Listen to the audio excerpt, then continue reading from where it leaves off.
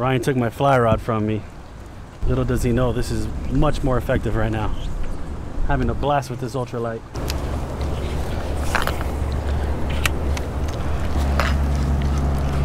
Oh, oh, oh my god! Oh my god! Dude, he, he came like 40 feet and nailed it.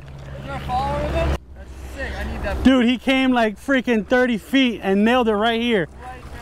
I was bringing it in over here. He came up, came up out of the deep and just nailed it right on the shoreline. Ryan's like, I'm think I'm rethinking this fly rod thing.